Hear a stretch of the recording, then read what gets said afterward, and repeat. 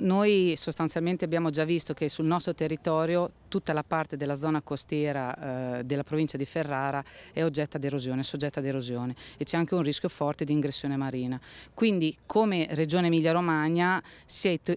ipotizzato e si sono trovate anche le risorse poi per fare questo progetto. È un progetto che noi chiamiamo Progettone 4 di 3 milioni e 300 mila euro che eh, viene realizzato su una parte della costa della, della provincia provincia di Ferrara. È un progetto straordinario perché l'ultimo l'avevamo realizzato nel 2017 e prevede un rifluimento di materiale sulla costa particolarmente importante che ovviamente poi si somma a tutti gli interventi di manutenzione ordinaria e straordinaria che annualmente facciamo e realizziamo.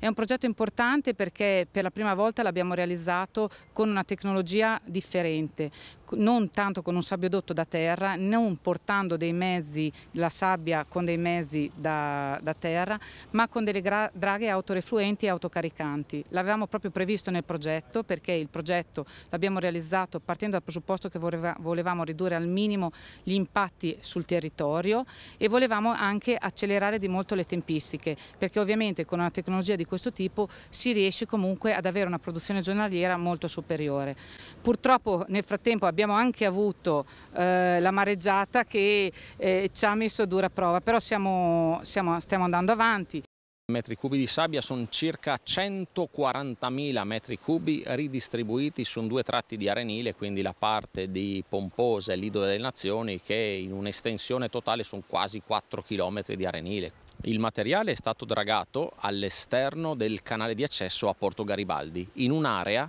che era stata definita come area critica per l'ingressione di sedimenti all'interno del canale. E queste draghe in sostanza hanno recuperato in maniera meccanica il materiale dal fondo mediante escavatori idraulici montati a bordo con benne bivalve. Questo materiale è stato caricato nel pozzo di carico e poi in navigazione eh, ci si è spostati in prossimità degli arenili da ripascere, quindi Lido delle Nazioni e Lido di Pomposa. Questo materiale poi è stato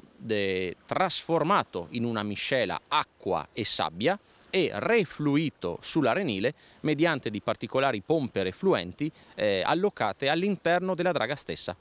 Da diversi mesi si stanno svolgendo lavori di dragaggio, importanti lavori di dragaggio e ripascimento lungo il litorale comacchiese, eh, resi necessari anche a seguito delle forti mareggiate che abbiamo avuto nei mesi di novembre e poi gennaio, coordinati dalla Regione, eh, con la quale c'è stata una stretta sinergia sin da subito. È stato importante capire quali sarebbero state le attività e il cronoprogramma per, per permetterci di lavorare serenamente e velocemente.